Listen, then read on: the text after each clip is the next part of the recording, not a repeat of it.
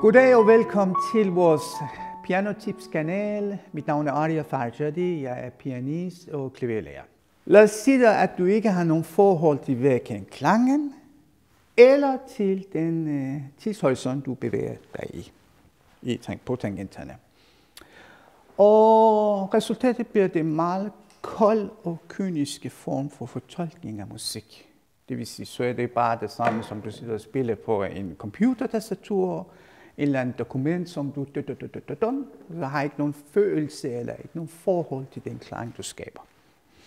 Og øhm, det, det skal vi helst undgå. Vi skal have forhold til klangen, vi skal bevæge os ind i det, vi skal skabe den, vi skal skabe en form for atmosfære, stemning, hellere spille fejl, men bevare stemningen. Hvorfor siger jeg det hellere spille fejl, men bevare stemningen? Fordi vi mennesker har øh, bevidstheden, underbevidstheden, og det er jo faktisk øh, 96 procent af vores tanker og daglige gørmål styres med underbevidstheden. Og 4 procent af daglige gørmål, det er noget med bevidstheden. Og øhm, når man først begynder at øve, underbevidstheden hele tiden begynder at op til den læge på læge.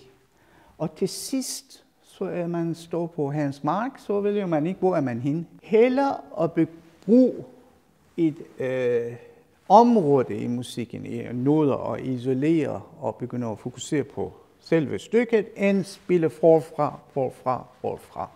Det giver det bedre mening at øh, holde sig til et lukket kreds. Det hjælper dig med at skabe en form for historik til at øh, starte med at fortælle, hvor du lægger et bund, ligesom i lavkage, og så bygger den op, og så til sidst pynter du den med det hele.